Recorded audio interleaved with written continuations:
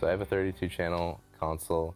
Um, I put the 1084 style EQ on the first 16 channels and the 88 style EQ on the last 16 channels. Ever since getting the console, the Genesys preamps, the 1073s have been almost everything. Occasionally I'll use something else just for a little other color, but yeah, now mostly the, the racks are for the dynamics or maybe some kind of uh, reverb or delay or something like that.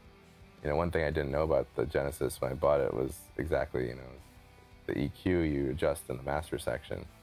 Um, that actually is a huge benefit um, because if you're EQing channel one, you're not way down at the far end of the control room wondering, does this really translate? you gotta you know, move back to the middle to see, but you're always kind of in the middle when you're adjusting the EQ. So the thing that has just put it over the top for me has been the, the Genesys control plugin.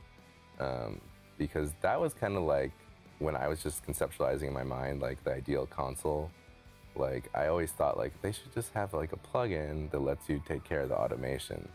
Um, so then you can just like do your usual things that you do in the DAW, like with drawing, you know, waveform or drawing with the pencil tool or whatever you want to do um, to to create your automations. You can easily edit them, and once they came out with that for the Genesys, I was like, okay, this is like basically exactly what I ever could dream of, you know.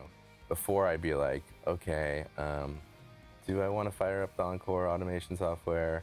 It was kind of like a last resort kind of thing because it, it required you know extra steps and had to be just kind of careful with it. And now it's like, oh yeah, just put the plugin on and just do the thing in the DAW, but do it on real hardware.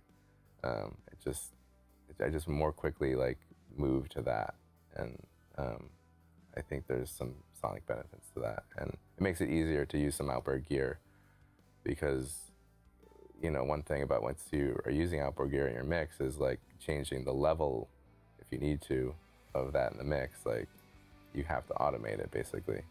Um, so um, sometimes you know I'd be like oh I could use that piece of gear over here but I know I'm gonna need to like mute it or do this or that to it, and I would be hesitate and I use a plugin. But now it's like, no, I can do it. I can just use the Genesys control plugin and take care of it really easily. So it makes me use my hardware more. I think. Built out like a professional studio, I was like, okay, you know, let me let me do this right uh, this time. And and I was looking at cheaper consoles at first, definitely. Um, but I was like, if I'm gonna do this, I should do it. I have the budget. Um, you know, this is going to be like a like a 20 year something commitment. You know, probably this console. Like, yeah, it, business has definitely improved. People are excited about it and recognize the value of it for sure.